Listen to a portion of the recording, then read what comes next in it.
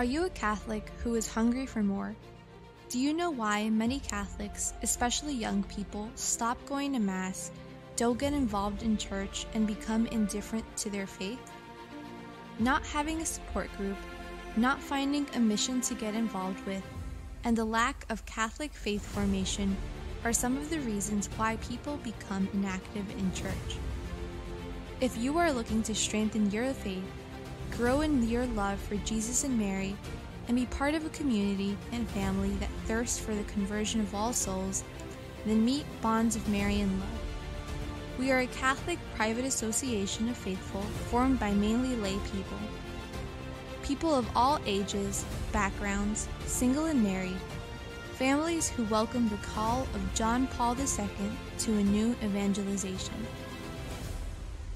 We help everyone in the family continue their faith formation and grow in their interior prayer life and love for the sacraments.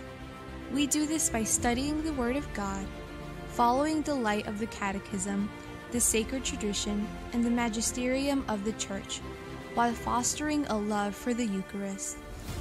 Our activities and missions include formation for missionaries, weekly prayer groups, total consecration to Jesus through Mary, spiritual retreats, pilgrim rosaries at homes, pro life mission, marriage retreats, social media and internet evangelization, adoration of the Blessed Sacrament, Mission Good Samaritan.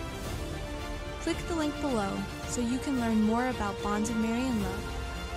For more information in English, visit www www.bondsofmarianlove.com or call 908 938 4960.